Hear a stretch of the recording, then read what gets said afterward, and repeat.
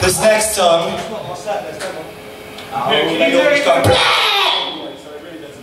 This next song is dedicated to an unnamed driver I first encountered before Christmas on the M5. Goes out to him, hopefully he's dying somewhere of leprosy of the nutsack.